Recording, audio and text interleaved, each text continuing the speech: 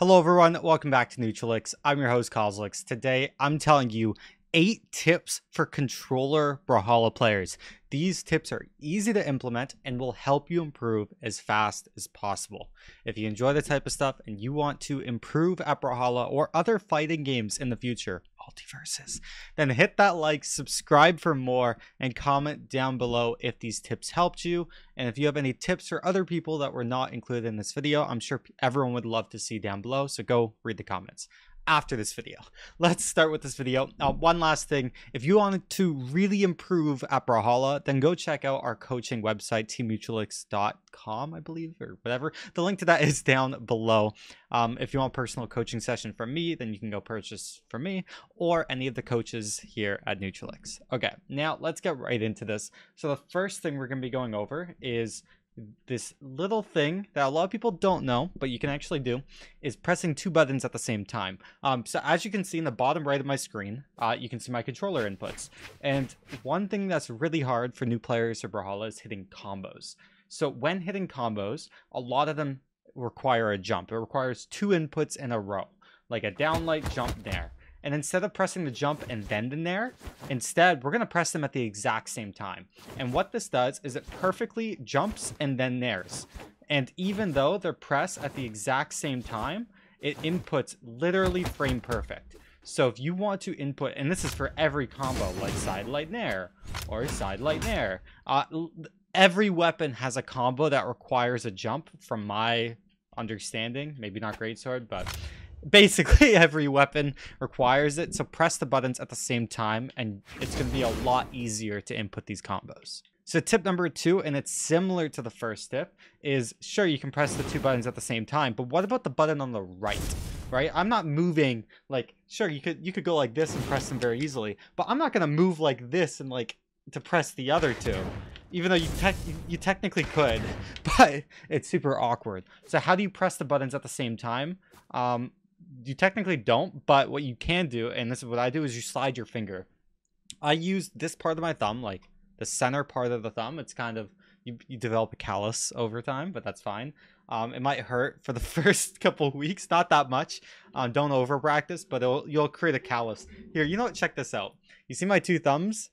Look at this. Wait, you see this one? Like right here, it's like yellow. That's a callus. So you see how it's on one hand and not the other? That's from doing this over the years. Uh, slide your hand from the bottom to the side and it's really fast you just slide you can see kind of what i'm doing you can see the, the input on the bottom it's like a then b and it's not even like sometimes registering the a i'm doing it so fast i guess but um yeah you just go from a to b and you slide your hand so it's the same as pressing them in a row but yeah it's a little bit harder it kind of sucks, but you're not going to be going jump recovery as often as you are going to be pressing the other two. So um, I think this controller layout works.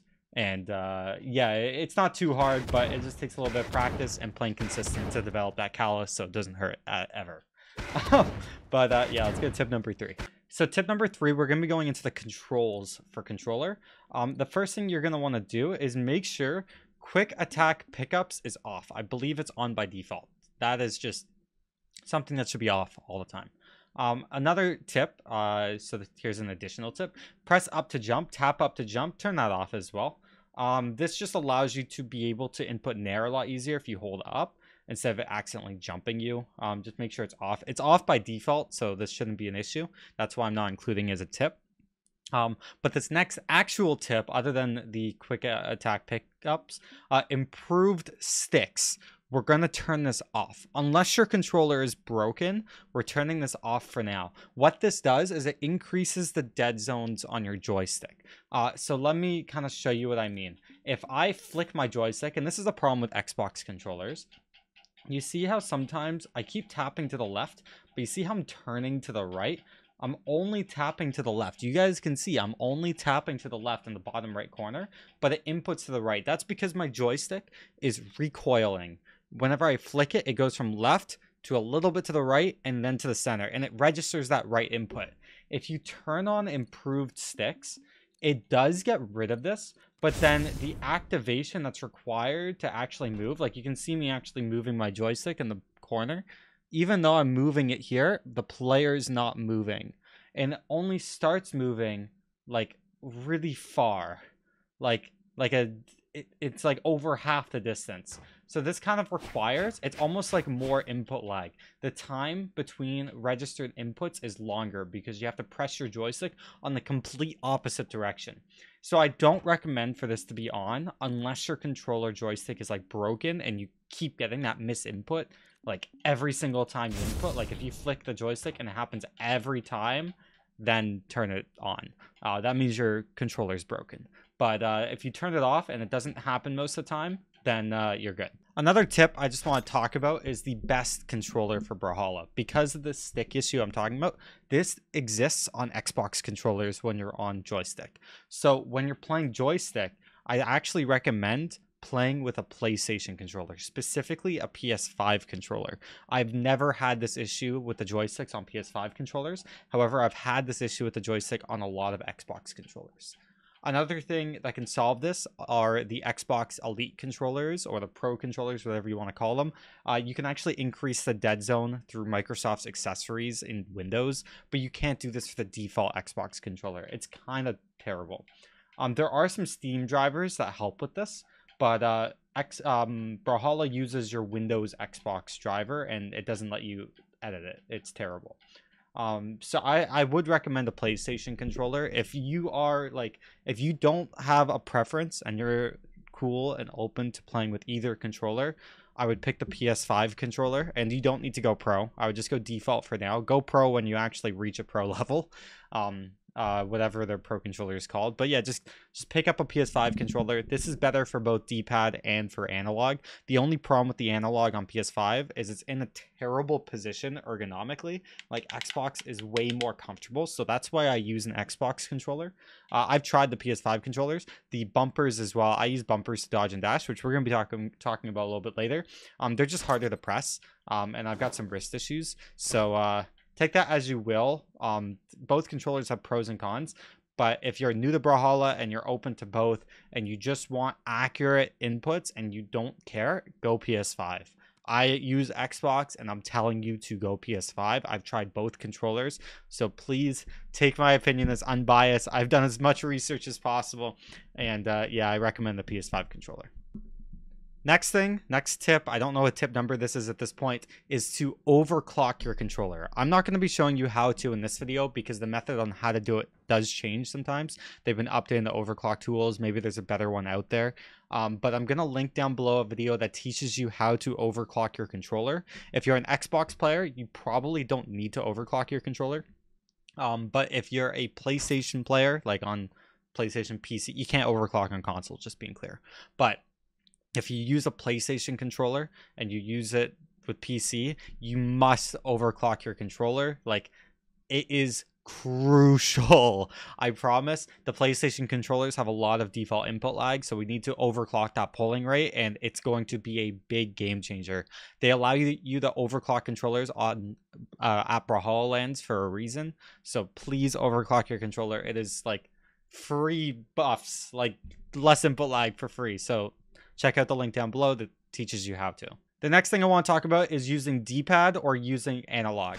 So we talked about the PS5 and the Xbox a little bit earlier, but again, if you don't care between the two and you're like, I like both of them, go D-pad. D-pad is more accurate and you're never going to have analog issues with D-pad. The D-pads last longer than the analog sticks. Um, so please, yes, go D-pad if you're new to Brawlhalla. But if you have been using analog for a while and it would take a big um, adapting, like I don't know, if it takes a while to adapt to D-pad and you really don't like it, then just stick to analog. It doesn't matter that much, to be honest. Luna and I play analog, but then there's people like Flower and Crocky and others who use uh, D-pad. Um, but then uses the world champion. He uses analog, so it really doesn't matter. Uh, but if you were to pick between the two, I would say just D-pad because of your wallet. D-pads you don't need to replace as often. Um, but other than that, yeah, it doesn't matter. And the eighth and final tip in this video is to change your dash control. We talked about this a little bit earlier. I just kind of mentioned it. But I switched my dodge and dash to left bumper. And the reason why is the activation period to input it. So for instance, as you can see on my trigger, um, okay, you can't see. Okay, you can kind of see how long I'm actually holding it, and you can see even though like look at the top left trigger. Even though I'm pressing it, it doesn't input a dodge until it's pressed enough, right? And that activation period, um, that can like it, it theoretically takes longer than pressing the bumper. So uh, that's why I use the bumpers. Um, but it's not that long of an activation period. This is like a very theoretical thing. If you are using triggers, that is a okay. Um, both triggers and bumpers are good. Um, so pick your preference. But I have been preferring the bumper for the majority of my career. I used to play trigger and then switch to bumper. Um, but uh, yeah, both work. The activation for the trigger is technically longer than the bumper, so take that as you will.